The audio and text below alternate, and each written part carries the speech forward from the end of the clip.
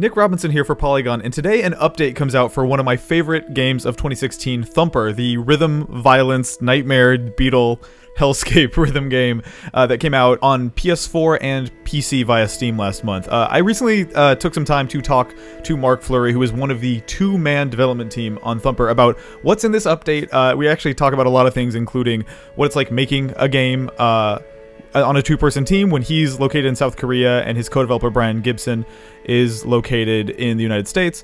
Uh, we talk about uh, how they postponed the release of this update uh, because of the United States presidential election outcome. Uh, we talk about a lot of stuff. So without further ado, uh, I'll just let the game footage roll. And yeah, here's my my conversation with Marc. Enjoy. Yeah, so I just wanted to talk to you about kind of the new stuff. I hopped in and I, I played the first level, and I I think I have a rough sense of what this this new content is based on that. But I guess I, I want to hear it in your words. What's what is the Thumper Play Plus patch? Sure. So it's a pretty subtle change. I mean, the game's only been out for like less than a month now, but um, it's in a sense it's kind of like the director's cut of the game, where hmm. we you know the tutorials are out because it's, this, it's this mode is kind of assumed for you know more advanced players. So that you play the same levels, but there's we've removed the tutorial sections, or you know any section that kind of is introducing the mechanics that we thought would kind of slow down the flow of the game. We've removed from the levels, so it's just a it's just a couple spots, and not every most levels are the same. Um, but yeah, you play as the, the golden beetle, and you can now go up to a 4x multiplier, and when you hit the 3x or the 4x multiplier, you start going faster. And the other major change is just that you have one life to try to beat the whole level. Right. And if you die before the end of the level, you get like a partial score. But in a, in a way, it just feels more like a classic arcade game to us this way, which is kind of a big inspiration for the game. In you know modern sensibilities, you you know you couldn't get away with making a game like this. Right. So that's why we made it into like a separate mode for people who like this kind of challenge and. Um, yeah, even if you can't beat the level, I still think it's pretty fun uh, mm. to try to get a high score. Yeah, uh, I mean, my first my first stab at it was level one one plus, and my high score at the end of it was like S S plus S plus S plus S S plus S plus, and then I died once, and it was just over. Like you basically have added permadeath to Thumper in a way. Right. Um, which is it adds something pretty brutal to an already brutal game. But it's funny you mentioned like it being a little more arcadey now. Uh, in if you think like it's something that I Thumper has gotten uh, it's pretty widely considered to be a super hard game and I think it is but it's also pretty generous with how like lives work. Do you know what I mean? Like honestly yeah. the, the only thing that will the only permanent roadblock in Thumper is your patience I think because you can just keep trying over and over and it even saves your checkpoints. Uh, is this like was was there ever a time when I actually I think I remember playing Thumper like a couple GDCs ago, and there was a finite number of lives. Like I had three lives, and then three strikes and you're out. Is that how it worked at one point? It did at one point. Yeah, we had lives, and we just weren't really sure what was best to do for a long time. And I do think that the way that the, the current game, I like how the current game works because it's it's super hard and demanding, but it's not really punishing. Mm-hmm. I mean, it might. I, I, you know, I think there's something about rhythm games in general that are just inherently frustrating. Like because you know exactly what you're supposed to do, and when you can't totally. do it, it, it's a feeling of frustration. There's a, the gap between what you what you want to be doing with the controller and what is happening with the controller is is very, I guess, uh, narrow because you, you it's not like it's not like a puzzle game where you're trying to figure something out. You know what you're trying to do. It's just execution. right. Right, and, and, yeah, I think a lot about Thumper is just like you know how far can we push you on this on just a few simple axes. You know, like how far can we push rhythm gaming and and so I think that the yeah the main mode just like kind of like slowly trains you to become an expert in the game, and then I think this mode is just like another way to kind of ramp up the tension again. So, uh, kind of on the subject of uh, difficult, I guess this is a different kind of difficulty, but uh, I, I, think a lot of Thumper players, myself included, um, came out of that first 48 hours of Thumper with like a mild thumb strain injury uh, which y'all have y'all have basically patched out of the game by allowing you to use uh, the triggers or A to to hit uh, enemies, right? Right, right. Um, did you, I guess I'm something I'm curious about is like, did the fact that people were hurting their thumbs surprise you? Did that happen to you during development, or what, like was that complete a complete shock, or was it kind of expected? Uh, No, it wasn't expected at all, really. I mean, I mean, of course, we kind of made fun of it, but I mean, like honestly, if anyone seriously hurt themselves, that would not be cool. But right. I think most people just, you know, pushed themselves too hard and had some discomfort in their thumb. And mm-hmm. yeah, it's funny because I, I think it's just like if you set someone down in front of a drum set and tell them to play really fast for a while, like they're going to cause pain on themselves because they're not experienced in how to like use those muscles efficiently. Right. And, I mean, I, you know, I didn't even really understand that Thumper was that hard. I thought it was too easy for a long time because, you know, after seven years of playing the same thing, like I got really comfortable with it, and like you know, I, I never like feel really any like difficulty, to, you know, too, too too intense, and like I think I just had always just been relaxed whenever I played it, so mm-hmm. I never heard. Well, I mean that's that's the funny thing about it is that like in terms of the number of inputs, in terms of your like APMs in Thumper, like the number of buttons you're pressing per per second or minute in Thumper, I don't think is is greater than any other video game. I, I think a lot of the, the thumb injury that players, myself included, have experienced comes from the fact that we're not just hitting the A button or the X button, we're hitting it extremely hard with a lot of force yeah. and a lot of intensity because the game we're playing is like it's it's weird. It's like this atmospherically we're being encouraged to to really press the hell out of that button, um, which is interesting, I think. Yeah, totally. I think you're right. I mean, I bet like a game like God of War or something, you're probably hitting the button way more frequently. Mm-hmm. How's the how's the response to the game been so far? Do you have a good sense of like how how? Because I know y'all worked on this game. What's the final total of years you worked on? Is it seven years? It is seven, but uh, it's not exactly. It wasn't like seven full time years, and it kind of ramped up and down. Mm. Um, but for for the past five years, I've been in Korea, and it's been my main focus. And um, it just took a long time, you know, mostly because we had to learn so much. It was like kind of our first game, really. I remember talking to you at um, maybe this was GDC 2016 about VR. Actually, I think it was uh, Brian I was talking to who said that uh, like optimizing for PSVR was like was surprisingly easy with this game because the game is like even though it's really visually intense it's not the most demanding game. And I've I've found that that like that's been reflected in my experience. Like it just runs so beautifully on pretty much any PC I've seen it on. Uh like was that was that something that I mean you guys this isn't running on like a, a any anything but a proprietary engine of y'all's right? Like this is something you made from the ground up? Yeah. Um, it is. And I think that I mean that was part of our advantage um, the fact that we were able to get it on VR so fast and the like you know I, am right now I'm talking to you on my like 2011 MacBook Pro and I kind of always tried to make sure that would run on this thing.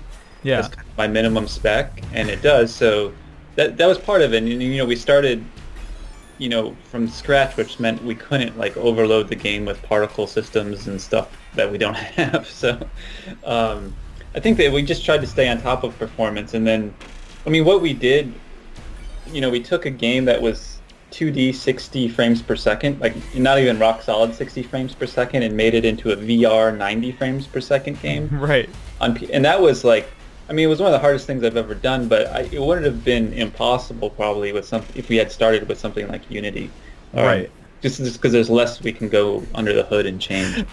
I guess it's easy for Brian to say because his responsibilities were, were mostly on the on the musical side, right? yeah, but yeah. he was he was like, oh, he was like, honestly, like we we only had a few months to do it, but if we had had more time, I think I think he could have gotten it to run natively 120. But I guess when you're the person who has to implement that, it's not as it's easier said than done. No, I mean he's he, he's right. I mean, and you know, like I'm not I'm not like you know I'm not Tim Sweeney or John Carmack or something. You know, like yeah. Uh, there's a lot of performance gains that I did not have time to do. So I mean, it's totally possible to to make it faster. But yeah, I think as a small team, like it's it's overwhelming to make your own engine, but then you also have a lot of flexibility, which is cool because we can yeah. really make it do exactly what the game needs and, and nothing else.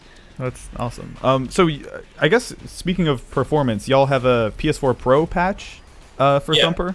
Yep. Um, what are what's what's different in that? Is it like uh, is it just performance boost? I think it's a you guys are running like same frame rate but at higher native resolution on the PS4 Pro.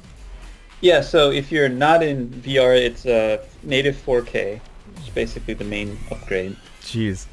And then if you are playing PSVR with PlayStation Pro, so yeah, basically like when to get VR images to look better, what you do is like you render it bigger than the size of the screen inside the VR. Mhm. and it gets like it's called super sampling because especially because the way VR lens distortion works, it means the center of the image gets kind of stretched out and pixelated.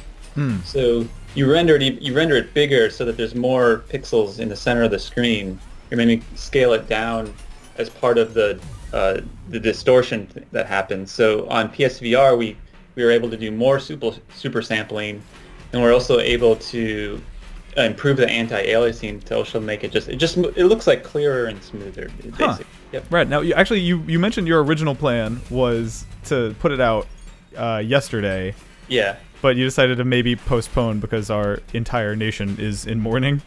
Yeah, but yeah, I mean, for personally, it just felt a little uh, disingenuous to, to sound to try to sound enthusiastic about something uh, about our video game. You know, Totally. it just didn't seem like the right tone. Um, How has it been as a as someone who lived in America and then moved to, to Seoul? Like uh, you said, five years ago, right?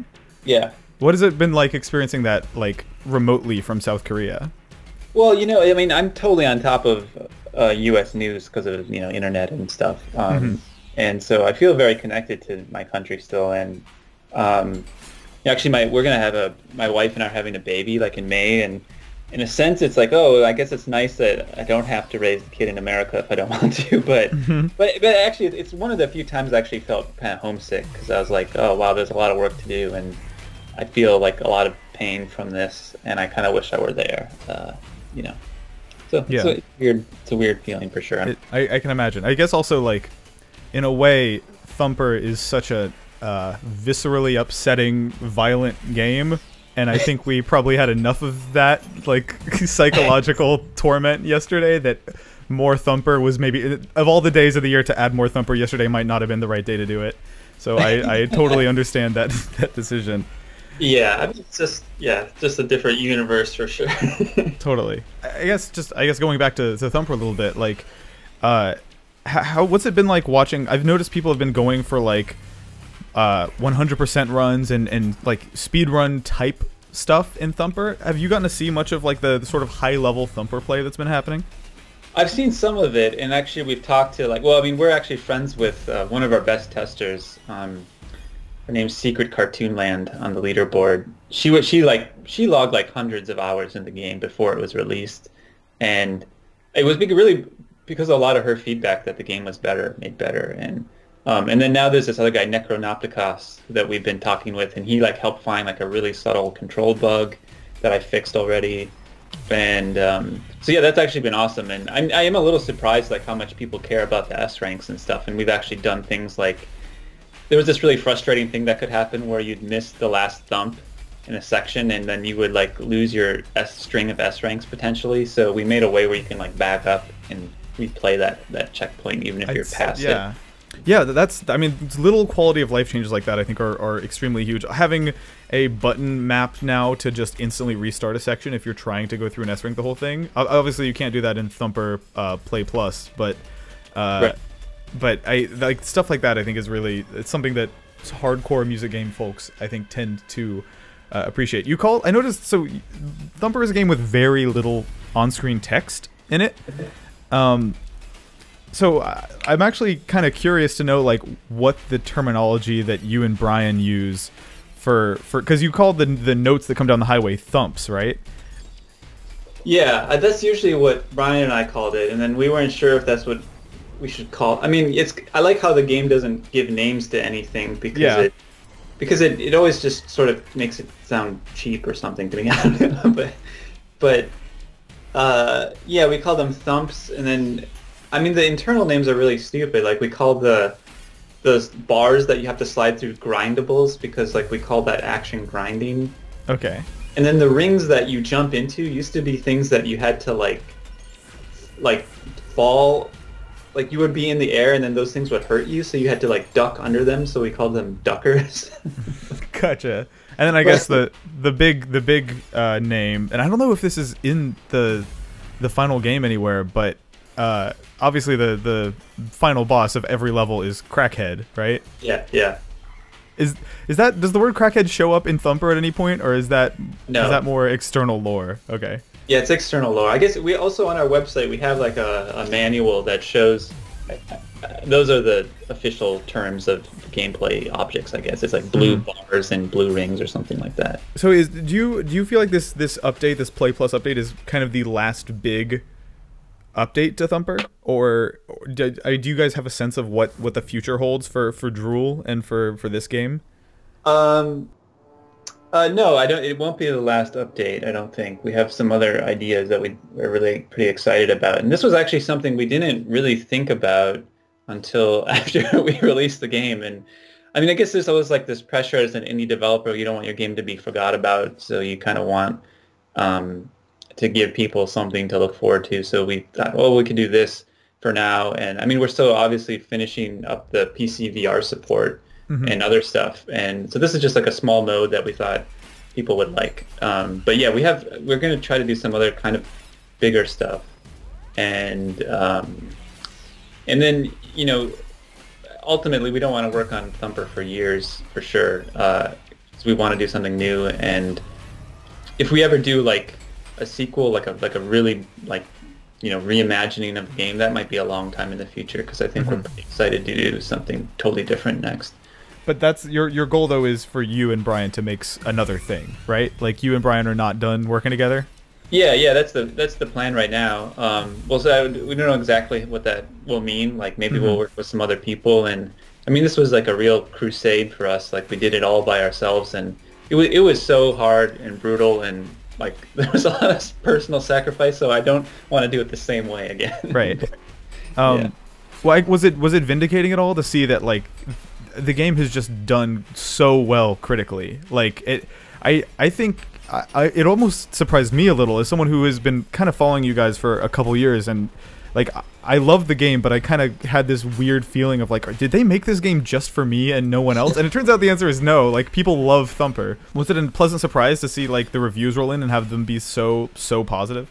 Yeah, for sure. I mean, it was a relief, and it was like, I mean, we feel very fortunate by it because, you know, we wanted to make something, you know, for ourselves, and we wanted other game developers to like it, our peers, and we wanted critics to like it, and we wanted players to like it, and we we seem to have succeeded uh, to some degree in all of those goals, which is just like you can't really plan on that; you just get lucky, and so I feel really fortunate about it, and.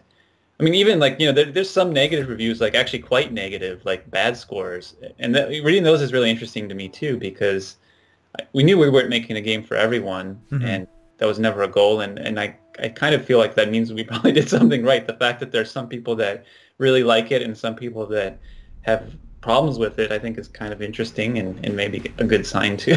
Right. Would I guess would you find that preferable to just solid sixes across the board? Like everyone is ambivalent about it. Yeah, yeah, much better than that. Like for sure, we'd rather have something remarkable than something that's just mediocre, because that's usually what happens with games, right? Mhm. Yeah. Um, I, something I'm curious about too is that I get the sense that um, having to hit PSVR launch kind of gave you guys a deadline that you didn't have before when you were kind of just working on it at your own pace.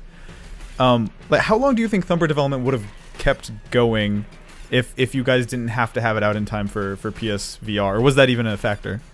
Oh, it was for sure, and th- I mean, it's that's a great question, and I think yeah, I mean, we you know when we decided to make that our deadline, it seemed like we had plenty of time, but then of course, even no matter how long you work on a project, like a big project, you always run out of time at the end, and like the last two months, three months or four months, really like up, leading up to that were really brutal. Like I was working like as hard as I could, like you know, causing like physical damage to my body, and like really sucked, and um, but I mean, I chose to do this, of course. So I'm not really complaining, but the the it was a good deadline for us, and I think it worked out in the end. And but yeah, in the future, like you know, the, you knew about the game for a long time, but so few few people did, and we felt like we really had to try to make this time investment of time worth it. So we needed to like hit hardware launches and launch simultaneously on Steam and PS4 and Mhm. do all this PR and everything. So, you know, I hope with the next game we'll try to be a little more relaxed and at least maybe,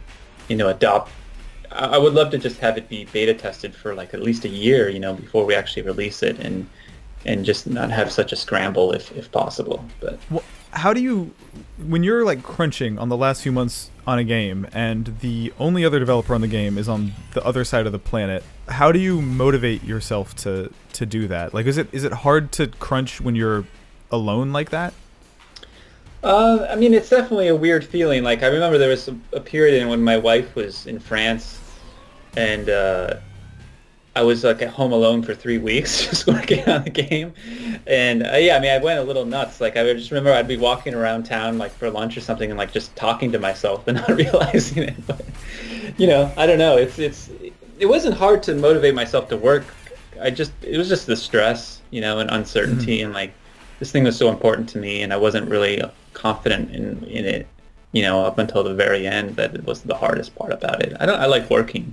I just like think that the stress and expectations are what gets really hard. Well, uh, Marc, thank you so much for, for talking to me. Um, I am a huge, huge fan of the game, obviously, and uh, it's it's just cool to hear you. And it's cool that like there's more more content coming. Like this, all this, what I've played of, of the uh, the Play Plus stuff seems like it's very much like a just a gift for the people who who already love the game and want it yeah. to be harder. Like the the lunatics among us who like want Thumper to be even harder. Like it's so so tailor made for that group. It feels like. Yeah, I think so. Yeah. Yeah. Thanks for your time. Yeah. Thank you, Nick.